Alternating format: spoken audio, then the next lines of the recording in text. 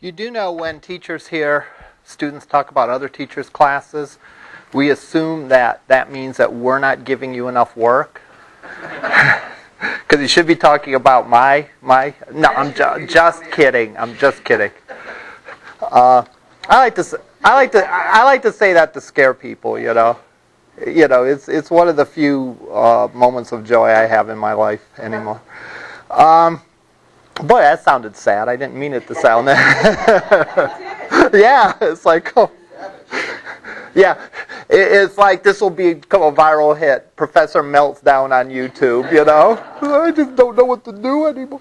All right. Uh, uh, at any rate, we're going to talk today about good design, and and, and we throw out the term a, a, a good, a well-designed website, or that's a good website, or that's a good web page, um, and, and we throw it out, and and it's one of those things where everyone kind of knows what you mean. All right.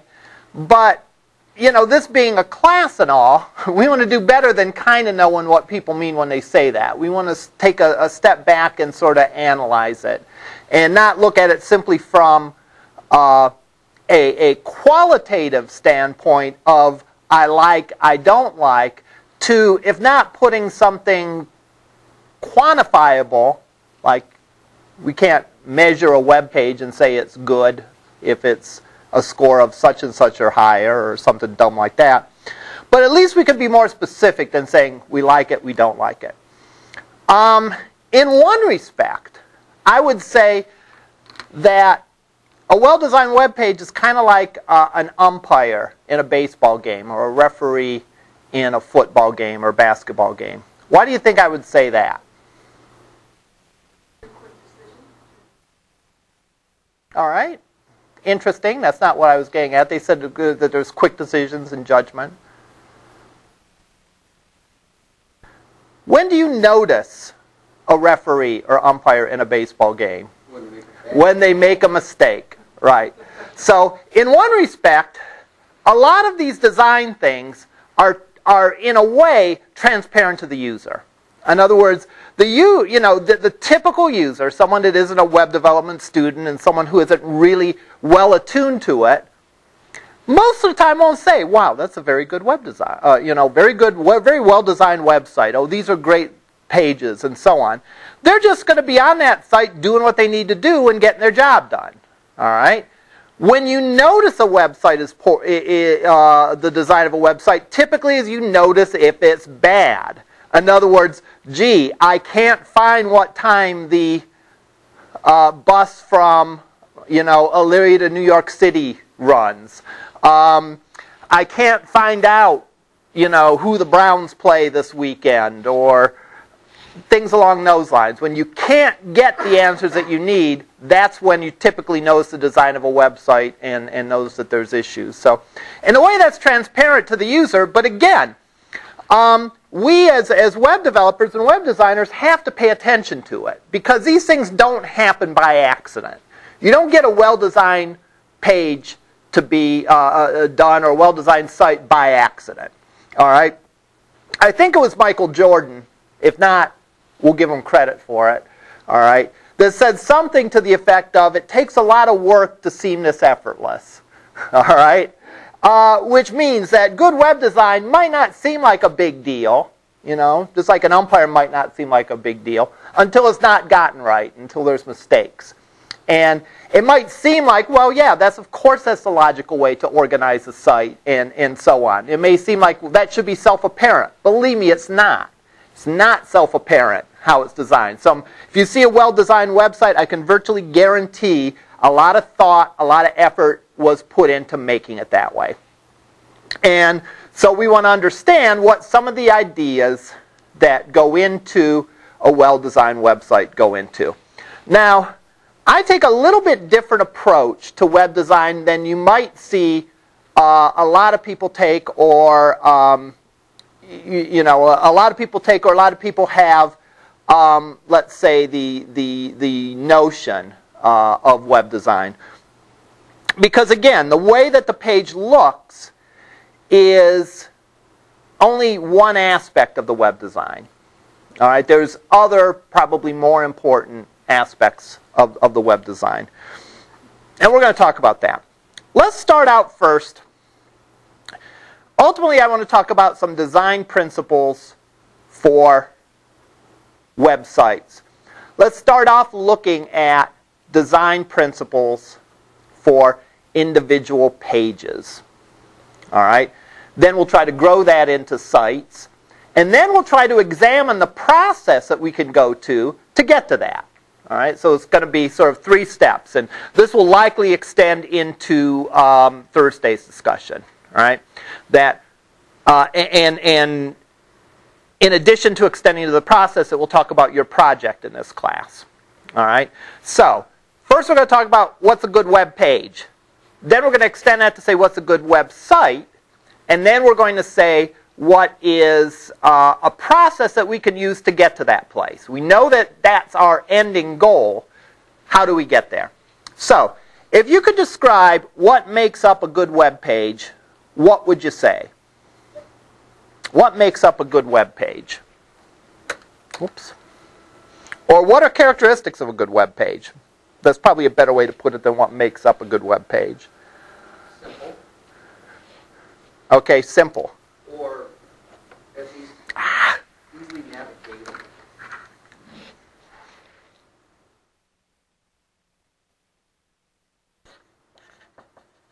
When you say easily navigatable, are you speaking in terms of a page or are you talking about between pages? I don't want to have to read a dissertation to figure out how to get to what I want to get. So it's your example, right? I want to be able to go in and see that the bus is running on time. I don't want to have to navigate through a whole bunch of stuff. Okay. All right. Um, I can definitely see that getting into the discussion of sites. So let's put that on the site page. All right. Because that really seems to be more an aspect of the site.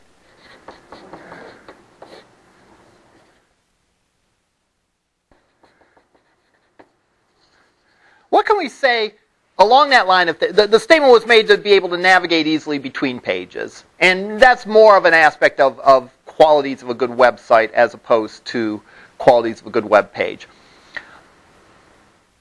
How can an individual page help in that? I, I, I don't know. I, yeah.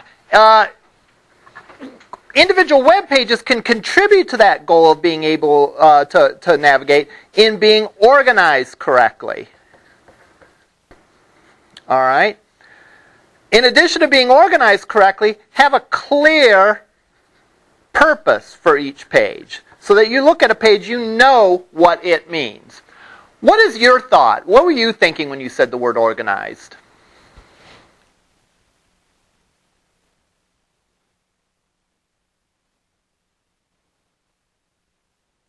What does, what does a well organized web page mean to you? Repeat that, please. All right. So, content grouped logically? Is that? All right. What were you going to say on that? Something you talked about last week, making sure that um, important details are right available, email, contact information. Okay. Uh, making sure that um,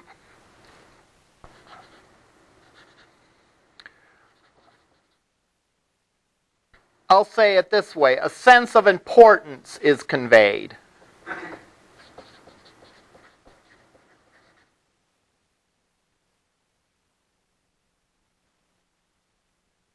All right.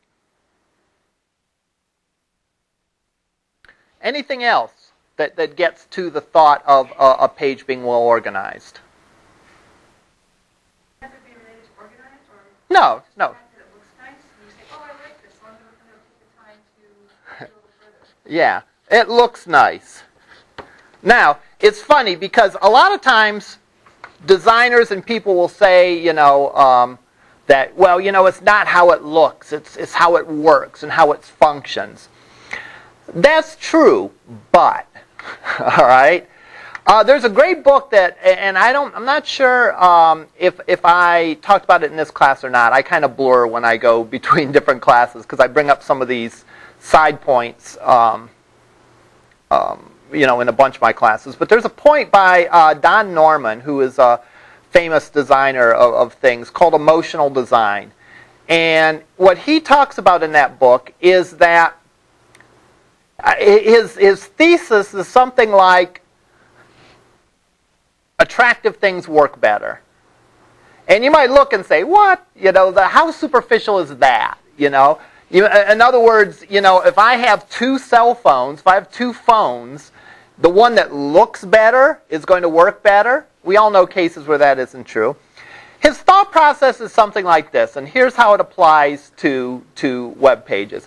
It's something along the lines of if you develop some sort of emotional reaction to a piece of equipment, a piece of hardware, a device, um, whatever it may be, you know, you tend to be more patient with it, right? It's funny, but you know, you think about that with people all the time, right? If there's someone you like, you tend to be more patient with them. You tend to be more forgiving of them. You tend to be willing to go the extra mile more for them, as opposed to someone that you feel neutral about, or even worse, someone that you don't like, right? Norman's point is that people treat objects in a similar way. If there's an object that for whatever reason, you know, I hesitate the word have an emotional attachment to, you know, because, you know, it's not like I'm in love with my phone, but I do like my phone. All right? Because I like my phone, I tend to be more forgiving if my phone shuts down, for example. I have, a, I have an Android, uh, uh, what is it, a Droid X2. And every once in a while, it just, it reboots itself. It says, I've had enough, I'm done, and boom, it starts up. Battery's fully charged and all that. But you know what? It's like, oh well, it's doing it again, ha ha ha. If it was a phone that I didn't like, every time it did it, it would annoy me and it would annoy me even more. All right. So how does this relate to websites? almost the same way. If the website creates a favorable, positive, emotional impression, a lot of good things happen. All right? Number one, the content tends to be more memorable. All right? I had an, uh, an Ed Psych class where they asked us to think of our most vivid memories of our childhood. And they said, almost every person, if you ask them to do that, will think of a memory that is very highly emotionally charged. You know, your most vivid memory isn't going to be, oh yeah, there was that day that I had breakfast and watched the Bugs Bunny cartoon, right? Unless there happens to be something special about that, that you did it with your parents or you did it with your brother and sister and you really had a good time and so on. So it tends to be the things that are given an emotional charge, you know, tend to stick with us. Um, there's a commercial that everyone is talking about with the Super Bowl, and I didn't see it, so I don't know. But uh, the, the, the Chrysler uh, Jeep one, is that the one with the American farmer that they talked about? Yeah. It's like, what does that really have to do with buying? Nothing. But it, it, it, it forges an emotional connection. So things that you can do to forge an emotional connection and to make your site likable is something that's going to work to your favor. People will be a little more patient in working with it. People will be a little more forgiving for it. And it's apt to make your content more memorable. So, making it look nice does have um, real practical benefits beyond just like, well, let's make it look nice so that it looks nice. You know, there really are tangible uh, benefits for that. In fact, there's an article here in Angel, and I encourage you periodically, as we're studying different stuff, as we're talking about different things, to go through the uh, resources on Angel. Because I have some like extra readings and stuff that really I think complement some of the course material. Wow, that was loud. Yeah, really.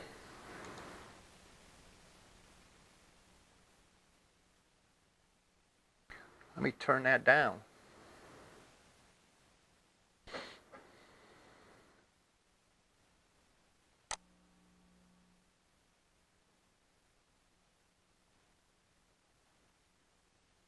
All right, there we go.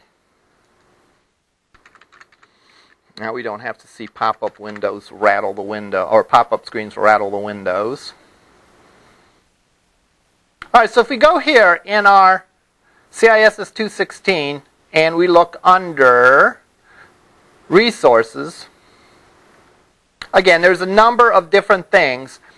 There's an article from Wired uh, of, this is several years old now, but here's the interesting thing. Researchers have found that internet users give websites a thumb up or thumbs down in less than a blink of an eye. In a brief 120th of a second, less than half the time it takes to blink, people make aesthetic judgments that influence the rest of their experience with an internet site. All right?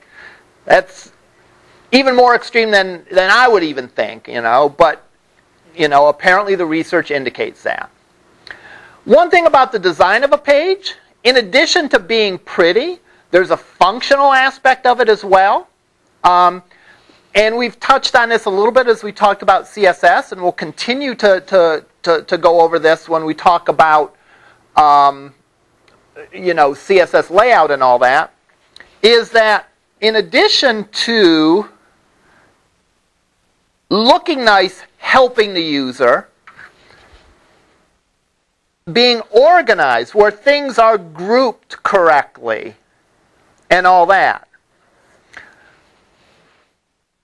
Users make a, how do I want to say this? Users very quickly upon seeing your page either get the sense of your organization or don't. All right, get the sense of the page's organization or not. You know, if you go to a web page and it's just a jumble. Some of you folks have turned in some great bad web pages for the one lab assignment. And a lot of them, when you look at, it's like you have no idea where to look at first. Whereas most of your good web pages, the design of it is such that instantly you know how everything is laid out. All right? Part of that goes with one thing that you don't want to do is you don't want to buck convention too much.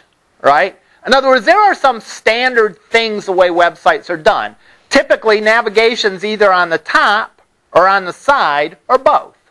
All right? If you put your navigation on the bottom, you're going to confuse some people. Or if you put it smack dab in the middle of the page, you're going to confuse people. Typically, the search box is usually, if you have a search on your site, is usually up here. You could put it somewhere else, but people are going to be looking for it there. So therefore, you know, by following uh, sort of standardized practices, that's another thing you can do. And in addition to the design things that you do to help organize the page, effectively, again, what you're doing is you're teaching the user the way your website works. All right? I've seen an occasional website that has like a help for how to do this. And it's like, you know, if there's ever a help link on a website, they probably failed in the design because the whole idea of the design is to set it up such that you don't need, you know, you just know how it works. You don't know how, but again, through the proper use of design and all these different elements, um, you learn how to use uh, uh, how to use the site. What are some other aspects of a well-designed web page? Here's the ones we talked about now. Simple, clear purpose and all that. Simple, I want to explore some of the thoughts that we had that. One thing we said is we didn't want to read a dissertation. All right? Simple means a lot of things to a lot of people. All right?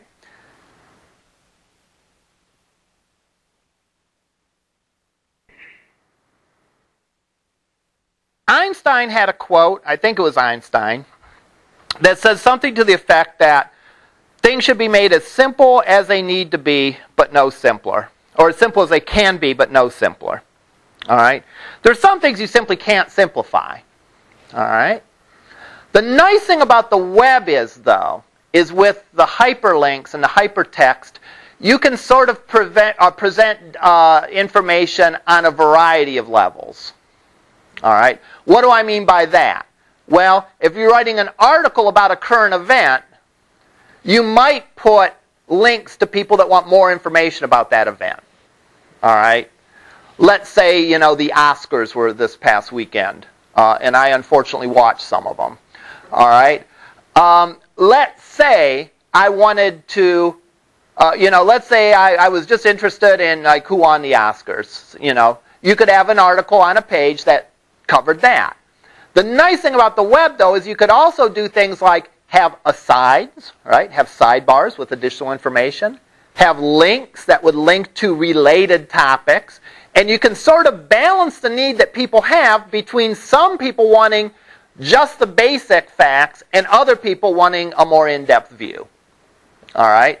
So simplicity and complexity sort of complement each other, right? Yes, we want things to be simple, but sometimes we want to know a lot of details about something if it's something we're particularly interested in. All right? And therefore, there's a balance between how simple you make it. How much content do you put on the page? You know? Yeah, we want to make it simple, but we don't want to put just a few words on each page where you'd have to go to 20 pages to get any kind of, uh, you know, complete story for it. So the balancing act between making it too simple and too complex is definitely uh, one that you have. Um, another aspect of simple relates to graphically. Not having extra extraneous graphics, stuff that's not needed, stuff that doesn't add to the presentation.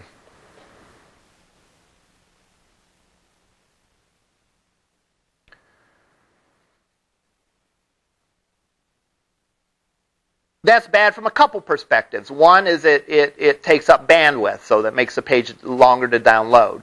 The other problem is it distracts or has the potential to distract people from the stuff that is important. And lastly, it can kind of create an overall clutter on the page. All right. Remember back to the 120th second, the blink of an eye, and remember back uh, uh, that uh, a, a good website for a good website, the organization is intuitive. All right? You're not going to get that if you have too much stuff on your page. Right?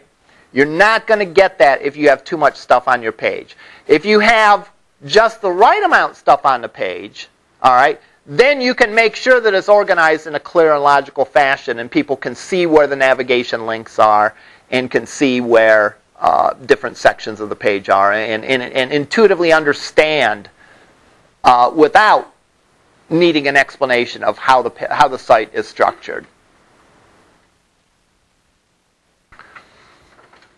Anything else that we want to add to this list of characteristics of a good web page? Repeat that, please. Do you want to say something like a hook or something that draws you in, interest?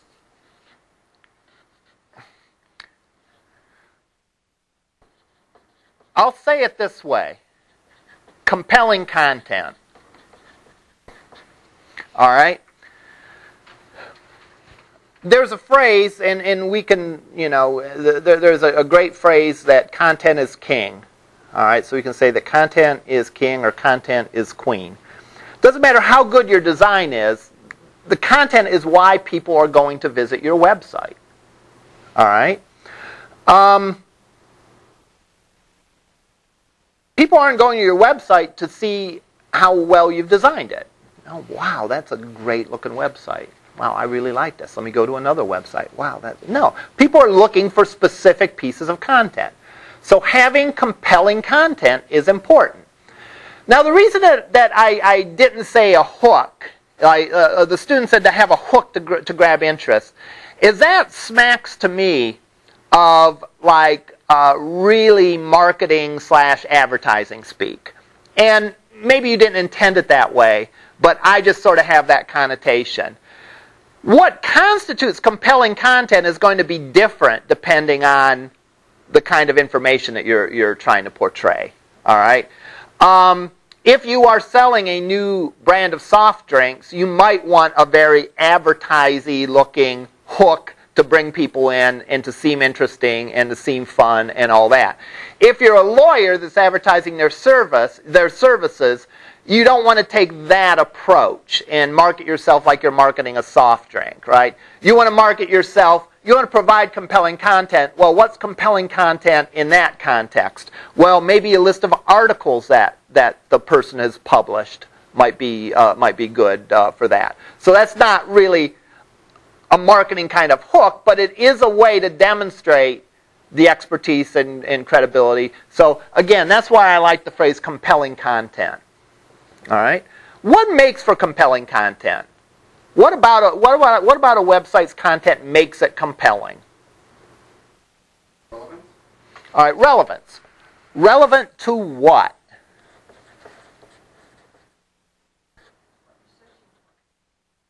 All right. How about something new, fresh, too? If you're looking, looking for something, it's probably something you don't know. Mm-hmm. Okay. So let's take these one at a time. Relevance. Relevance for what you are searching for. And I'm going to use a word that I'll be using a million times, and you can actually count it and see if I'm lying. User goals. Relevant to the user goals. That's one. All right. Now, how do you judge that? Well, that's going to be part of our design process. How do you know what's going to be compelling to a user? Can you read people's minds? Well, no, you can't. But you can go through a process that hopefully will identify that. Another thing about compelling content is that it is, is fresh, new, updated. You know, what's it like to go to a website for an organization and you see the latest update was, you know, January 2011? It's like, well, they don't have anything to say to me, right? You know, and therefore you're likely to ignore it. You're likely to ignore it, oddly enough, even if the kind of information you're looking on really doesn't have anything to do with date and time, right? It just sort of gives you the idea that, well, this is kind of out of date and this isn't going to be particularly interesting. They really don't, they really didn't make their website a priority, all right? Therefore, it's probably not going to be very compelling. So that kind of sends a signal too. So having things updated and new goes a long way in my mind to make it compelling. You know, um, could you imagine, for example, um, you know, uh, you know, and again, we're, we're, going back a little bit, but you know, um, pick any big news event. You know, can you imagine, for example, an article about the political landscape that was written before the last election? You know, it's like that ain't relevant, right? You know, didn't know who was going to win the presidency or who was going to win the congressional seats and so on. So keeping things up to date, yeah, is important. It's important in making it compelling, and it's important in giving the uh, veneer of appearing to be compelling and relevant and so on. All right. What's something else that would make uh, uh, information compelling?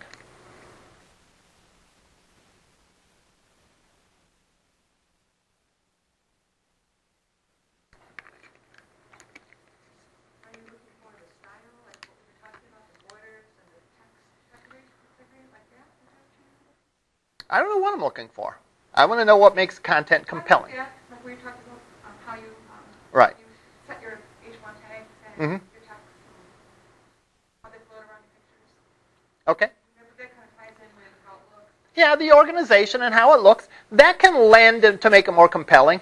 Um, even on a very um, obvious level, on a very crude level, if it's not legible, it's not going to be compelling, right? So if you're not using adequate contrast between the colors, you can't read it. If you can't read it, it can't be compelling. So making sure it's legible and, and so on. Anything else?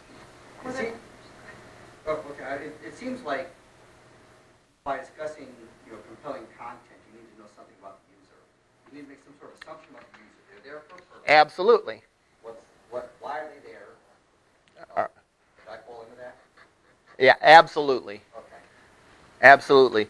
Because we need to know what the user's goals are to know if it's compelling. That's two.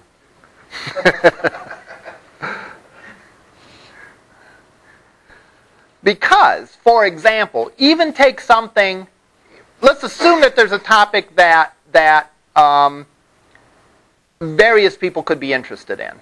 All right, let's, let's pick a topic that I'm interested in jazz music. All right, I've listened to it for a long time, so I already know something about it. Now, I'm not a musician, though, so I don't necessarily know a lot about the technical aspects of the music. All right? Compare that with a student at the Oberlin Conservatory that is studying jazz. Compare that to a student in a jazz appreciation class. All right? They're all three, quote, interested in the same topic, right? But clearly, not all the material is going to be compelling to them.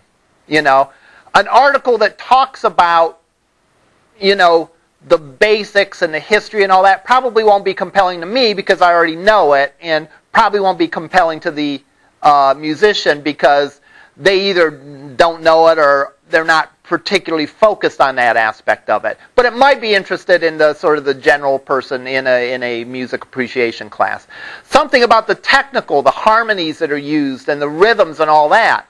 I don't really care about. It. I probably wouldn't understand it. Neither would the casual reader, but the music student might, and, and so on and so forth. You know, um, new releases might be something I'd be really interested in. I'd be, find compelling because, yeah, I, I want to know, you know, what's coming out new that I might like.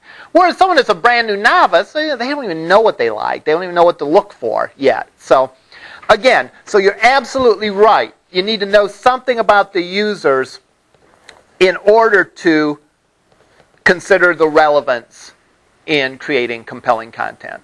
So is this a discussion about sort of a shotgun versus rifle approach and what, what you're displaying or what you're conveying, or is that, can you have both, I guess? Uh, the, the question is, is can you have both? Uh, w- b- uh, by both, what do you mean?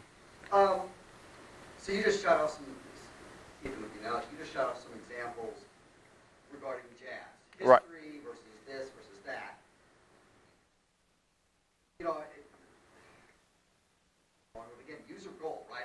I'm coming looking at jazz, Right, jazz is broad. right. Um, I guess the shotgun approach would be a number of links within the site covering multiple aspects of jazz versus a rifle approach, which would be just sort of jazz history or jazz. Okay. The, okay, the question that the student made is, is we could take a couple approaches getting back to our, our discussion of a website about jazz. We could try to satisfy everyone's goals a little bit, all right, or we could try to focus on one area and really satisfy those goals. So, for example, maybe we make a website for the novice listener. Maybe we make a website for the connoisseur. Maybe we make the website for the musician, the student musician that's studying it. Or do we try to appeal to all of them? All right? Well, that's a great question. Are there any other great questions? that's a great question. Well, you, you know, largely what it comes down to is this. There's another party that has goals here, right? That is the party that is making the website. All right? In other words, jazz websites or any websites don't pop up out of the blue, right? Someone makes them. Well, why are they making them? They could be making them for all kinds of reasons, right? I may be making it because I love jazz music and I want to share my love and my interest and my knowledge with the world. Now you might say, is that going to happen? It absolutely happens. Go on the web and look for fan sites about Doctor Who or, you know, any topic you can think of. Go to Wikipedia. You know, how much do people get paid to make those Wikipedia entries? You know, nothing.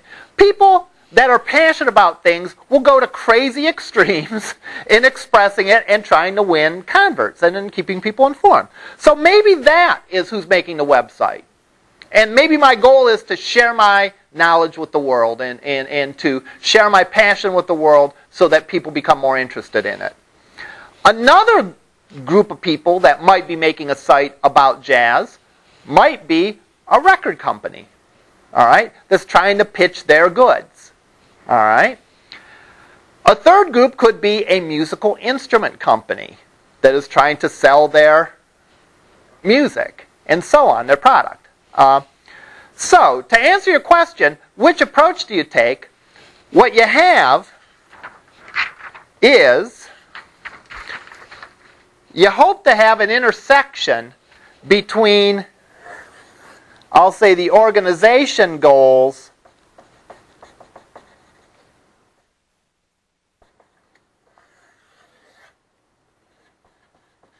and the user goals.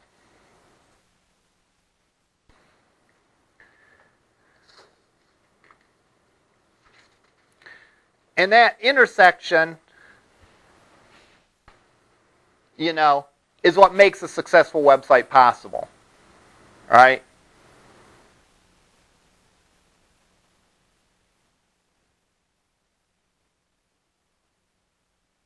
So if my audience doesn't care anything about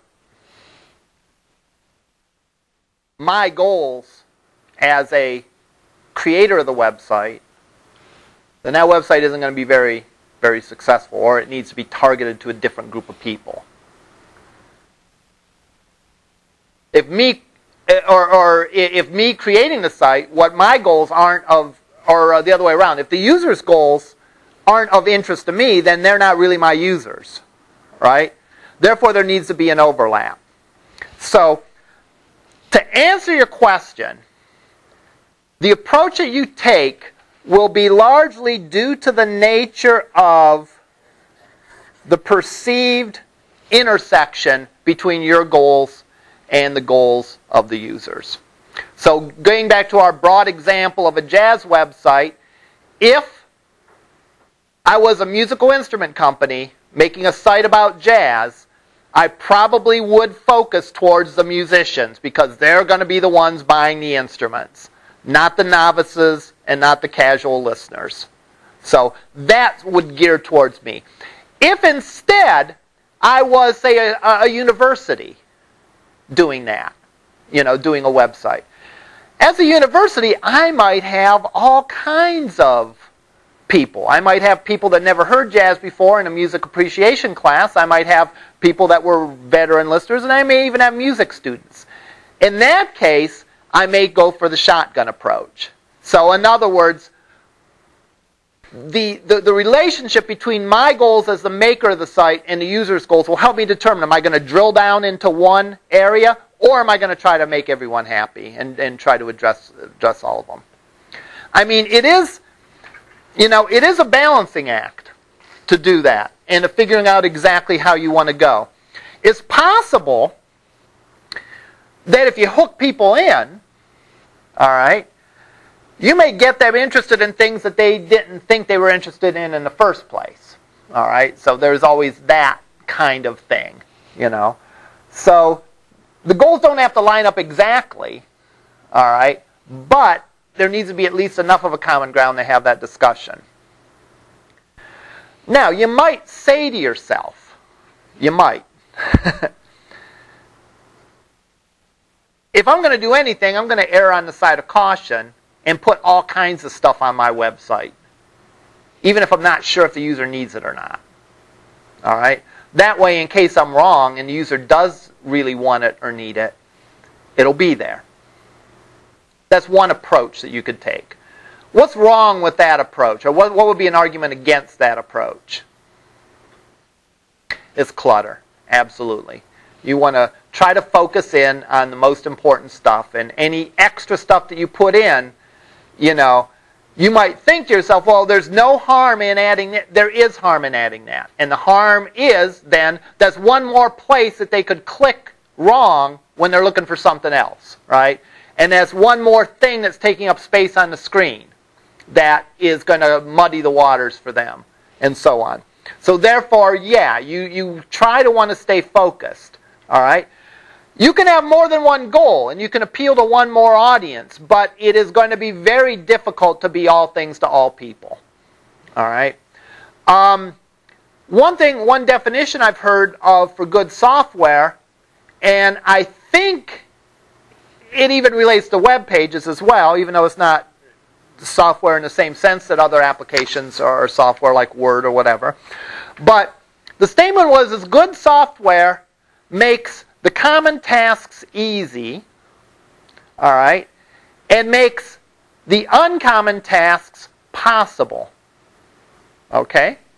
So let's think about that. Someone visiting a college's website, what are the common tasks? Well, registering for classes, you know, looking up what's going to be offered next semester, finding the phone number of the professor so you can call them, um, seeing what events are going to be on campus this weekend. You know, we could list a list of all these common things, all right, that should be real easy to do. Now we could think of something that maybe is less common. Maybe someone is coming from the military, all right, and they have so many years' experience in the military doing a particular task. Let's say working with computers, since that's my field. Can they get credit for any of that experience? Hmm. That's not common, right? Not necessarily everyone's going to be interested in that, you know. Only a small group of people maybe fit in that category. So it's an uncommon thing. It's certainly not as common as finding out what courses are going to be offered next semester. That's what every student does, right? But still, it's an uncommon test that should be at least possible. So there should be some guidance of what a person like that does. Now, the interesting thing here is the website doesn't have to provide the answer, but the website simply needs to let the person know how you could contact, for example, the dean of the business division or computer faculty or whatever if you have one of these kinds of questions. All right? So again, it's not going to necessarily make give easy solutions to everything. That's not possible. But it should provide easy solutions for the common things and at least provide a path, at least provide some possibilities for people that come in with sort of uncommon questions or uncommon issues. All right?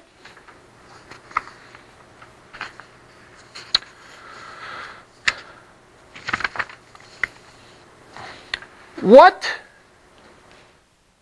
what about now if we extend and we start talking about a website as opposed to individual web pages? We talked about the web pages being simple, not cluttered, having the right amount of content, giving people the ability to get more content if they want to, but not requiring that you read a dissertation to know who won uh, the Best Actor award uh, in the Oscars. We talked about all those kinds of things. What about when we talk about a website? Yes? We talked about it last week where when you, move from one page to the other, you're certain you're still on the same place. Okay. So navigation, we talked about that before, but sort of a consistency. And we can point to consistency a, a, a, bunch of different ways, right? Consistency in terms of the way it looks. So, you know, a consistent color scheme, uh, consistent font choices, Consistency in the layout. There's a heading on the page, there should be a heading on every page, right? Consistency in terms of navigation. Navigation isn't on the top in one place and on the left in another page, all right? So consistency is important. We could also talk a little more subtle, you know, consistency in terms of uh, the tone that the site takes, right?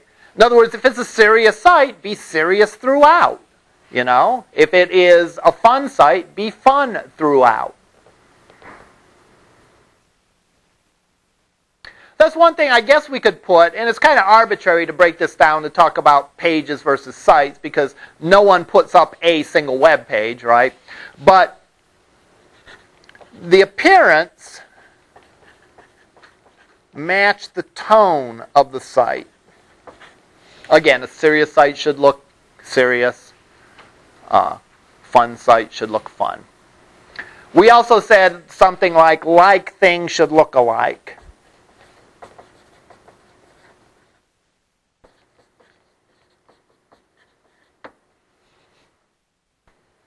So if we had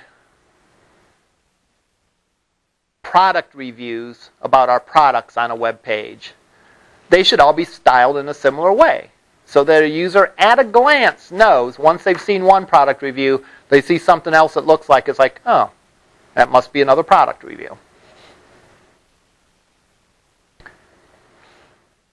Who has completed the lab concerning good and bad websites?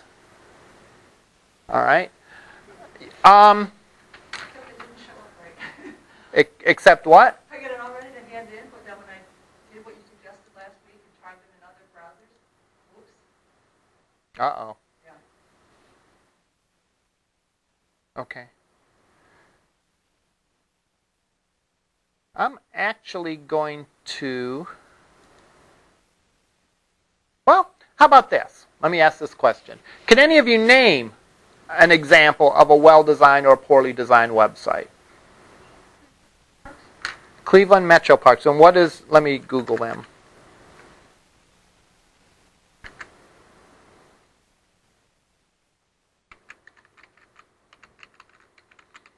Now, okay, don't say if it's good or bad.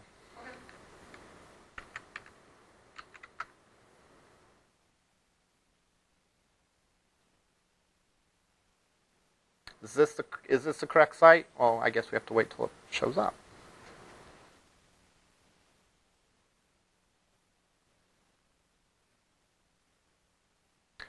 One thing about the slowness of a site is it's tough initially to blame that on the website. You need to you need to take you need to take a test at a few different times, right? It could be this computer that's just a dog.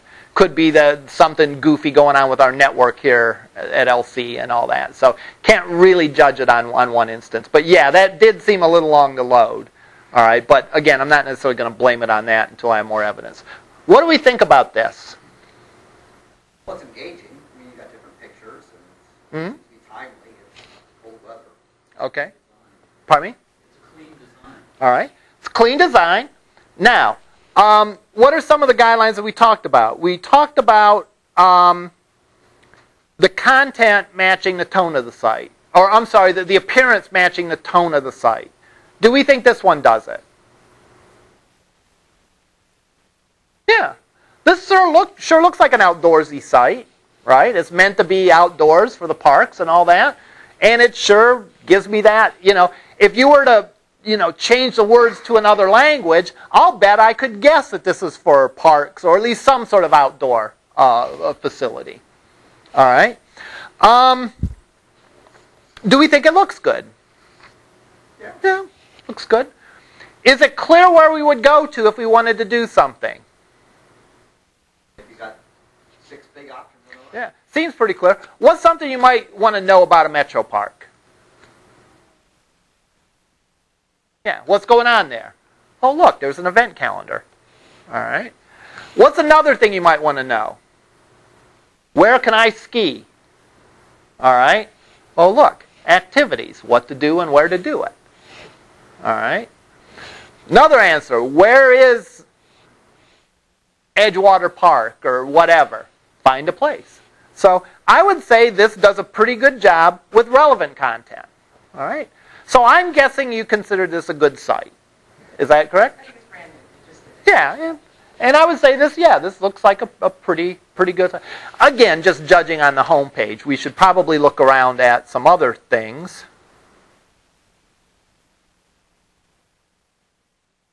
Let's check the fishing report.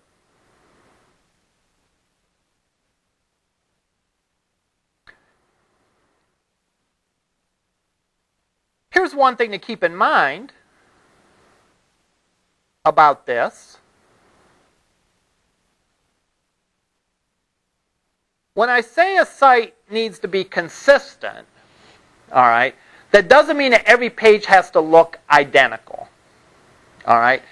In fact, often what you will have is there's, there's a couple variations on that theme. One big variation is that the home page is going to look different than sort of the internal pages, right? Because the home page is, you know, meant to grab your attention. All right? Uh, Jakob Nielsen, a famous web designer, in I think one of the articles that are posted in the resource section, says something to the effect of uh, a company's homepage is the most expensive real estate in the world because they spend thousands of dollars designing it and doing it for something that's going to fit on a one square foot screen or maybe a little bigger. All right. So the home pages have to look different than that. In addition, a site, especially a big site like this, is likely to have sections where there's going to be individual variances. For example, here we're in, I forgot what we clicked on, activities, I think. Notice that this stays constant from all the pages that we're in, but this is going to be, I would expect, different if we go to different sections. For example, if I go to um, find a place. All right. That sub-navigation on the side is different. It now shows me a list of parks instead of a list of activities. If I go to register and reserve, it shows me things that are relevant for this section. So that's another thing where it can be different. I mean, the navigation doesn't have to be identical on each page. You can have your site broken into sections. But do notice, number one, this stays consistent. And this stays consistent on every page. These are the things that were highlighted in those big things that look like wooden boards.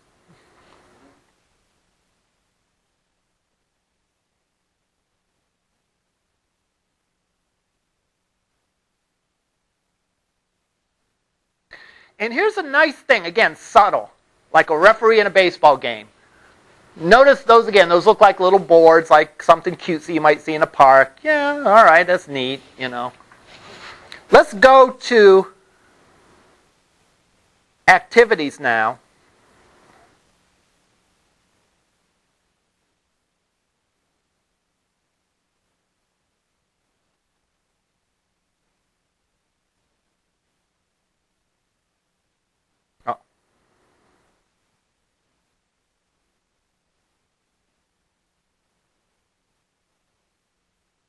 Okay, that was annoying that it didn't take me to the activities page, but no one's perfect. All right. Here's the point I was going to make. Again, subtle, like a umpire. Same background, even though it looks different, right? It's not the individual boards. It's just a bunch of them sort of jammed to the side. It's still the same background of that. That gives you a visual cue that you might not even notice that says these links are the same as these links.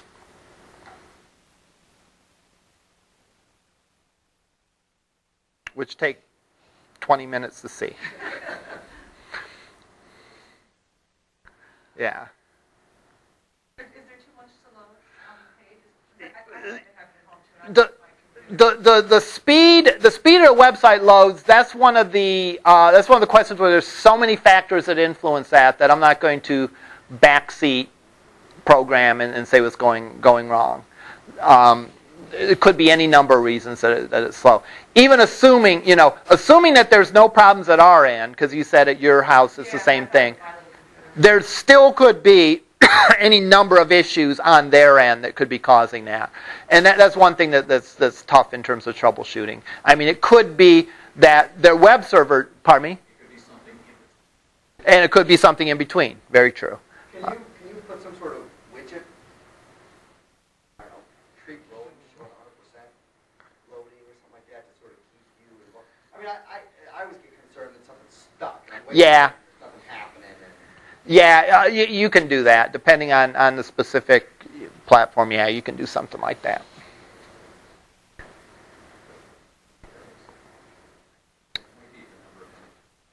Could be the images that are loading. A lot depends on how they load this. They are they might be preloading all those images and just doing a slideshow, which means that. But that wouldn't explain why I would do it the second time because I would think those would be cached then, and it wouldn't need it. But it's it's hard to say. Yeah.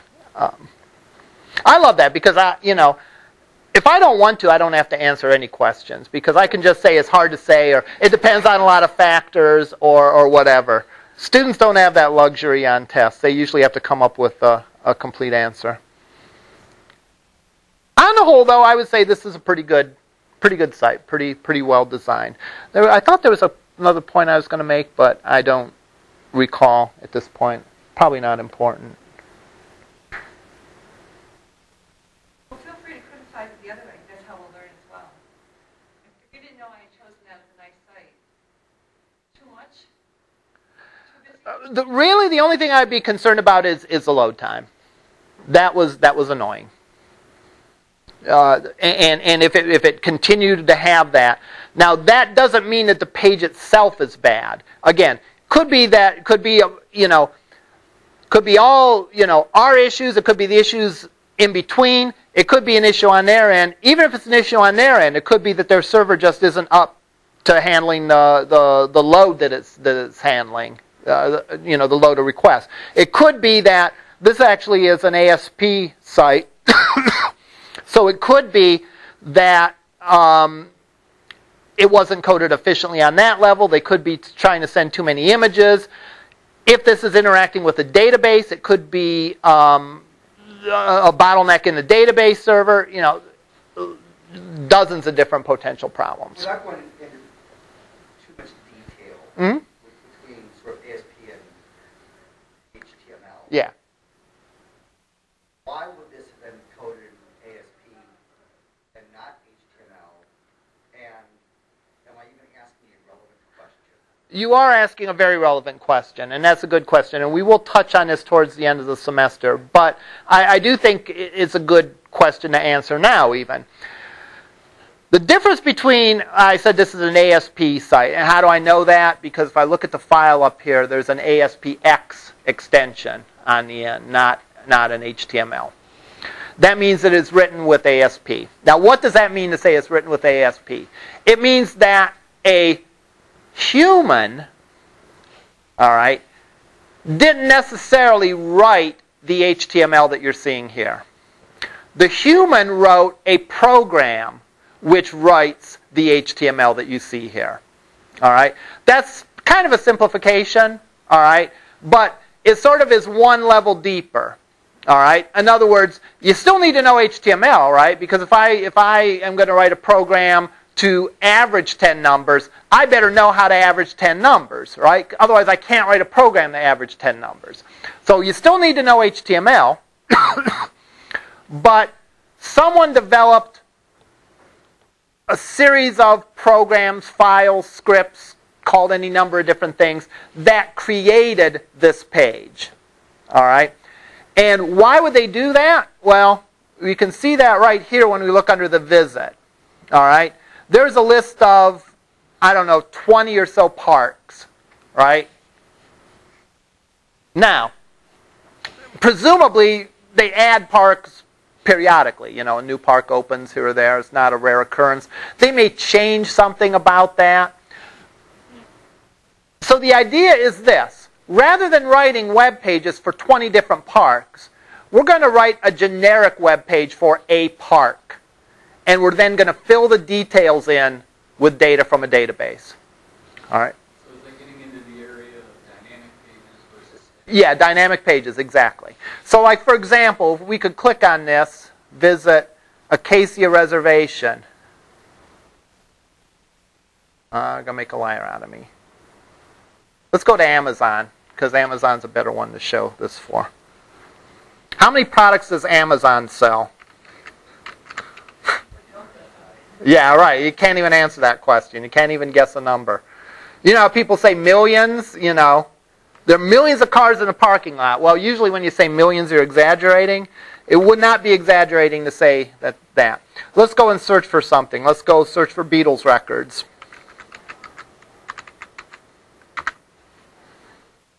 All right. Here's a bunch of Beatles records that we can look for, and we can look at one.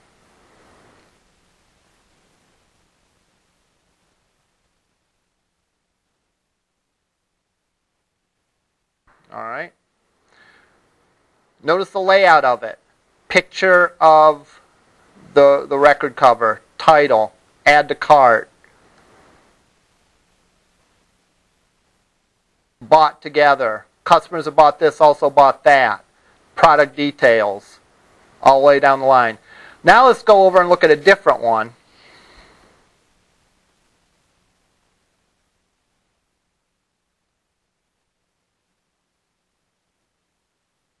Guess what? Layout's the same. All right. In other words, there's web one page that has the template for this that's created, and through the use of dynamic programming techniques that access a database and pulls in stuff to fill in the blanks, then this web page gets created as opposed to some other web page. All right. Um, all right. Uh, we'll see you over in lab.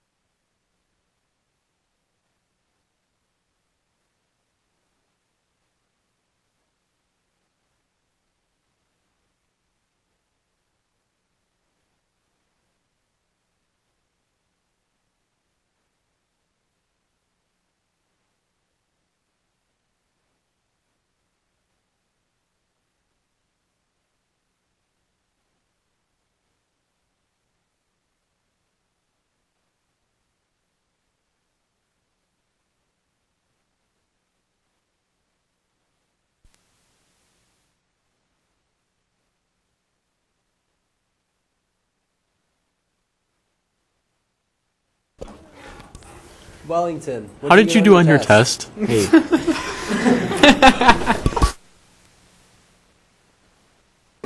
Yes, you.